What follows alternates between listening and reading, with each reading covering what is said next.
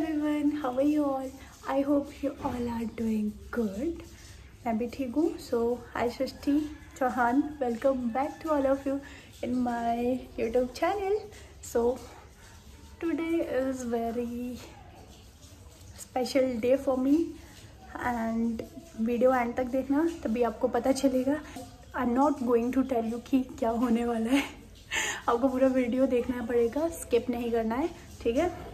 और जिसने अभी तक चैनल सब्सक्राइब नहीं करा है और यहाँ तक विज़िट कर लिया है तो please do subscribe my channel okay मिलता है थोड़ी देर में। तो अभी मैं जा रही हूँ एंड थोड़ी सी ड्रेसलिंग हो रही है और आज वेदर बहुत ही ज़्यादा यू नो ख़राब सा हो रहा है देहरादून में। एंड ठंड भी हो गया गाइज़ यू कैन सी मैंने ये पहना है। तो अभी चलते हैं सीधा अपने destination where I have to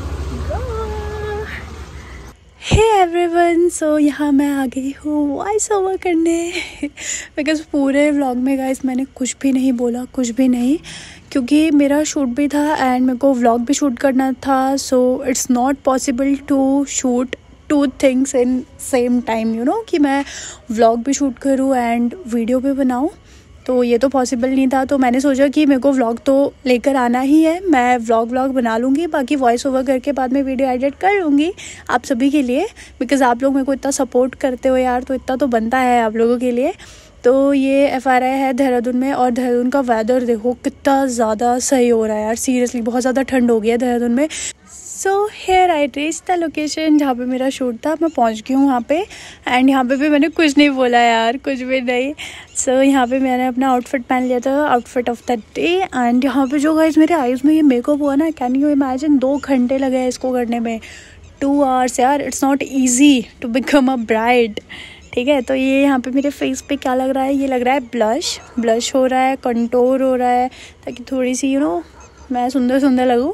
and यहाँ पे भी उसको अच्छे से ब्लेंड कर रहे हैं ये, ताकि मेकअप अच्छे से लगे। और most important guys highlighter highlighter लग रहा है आफ्टर दैट ये ज्वेलरी वगैरह पहना रहे थे मेरे को यहाँ पे। एंड बाकी मेकअप तो ऑल डन हो गया था। सब कुछ हेयर स्टाइल भी हो गया था। बाकी जो भी होता है ये ज्वेलरी वगैरह का रह गया था। तो बस वही हो रहा था और मुझे बताओ यार कि मैं कैसी लग रही हूँ। सीरियसली मेरे को पूरा एक यू you नो know, जैसे ब्राइड नहीं होता मेरे को पूरा वैसा फील आ रहा था कि यार मैं दुल्हन बन गई बट वेर इज़ माई दूल्हा? दूल्हा होता तो ज़्यादा सही होता यार। अकेले अकेले दुल्हन बन के तैयार होके बैठ गई हूँ। बट ठीक है दूल्हा भी आ जाएगा टाइम से। अभी it's not the right time तो यहाँ पे मेरा शूट वगैरह स्टार्ट हो गया था। जैसे कि आप देख सकते हो। और मैं इतना थक गई थी गाइज़ मेरा ये मेकअप सीरियसली फोर आवर्स में हुआ है। कैन यू इमेजिन मैं फोर आवर तक एक चेयर में बैठी रही कंटिन्यूस वे में और पूरा मेरा मेकअप मेकअप चल रहा था। मैं इतना थक गई थी इतना थक गई थी और मैं ऐसे प्रटेंड कर रही कि मैं बिल्कुल भी नहीं थकी। बिकॉज़ यार अब किसी ने इतनी मेहनत करी है मेकअप करने में तो ऑब्वियसली फ़ोटोज़ भी अच्छी आनी चाहिए। सो so, यहाँ पे हमारा स्टार्ट हो गया ये रील्स वगैरह बनाना। क्योंकि यार अब इतनी मेहनत करी है तैयार होने में तो रील्स आर वेरी इंपॉर्टेंट यार। रील्स बनाना तो ज़रूरी होता है। तो यहाँ पे मैं थोड़ी बहुत रील्स बना रही थी इंस्टाग्राम के लिए, ताकि थोड़ा बहुत कुछ इंस्टा पे भी पोस्ट कर सकूँ।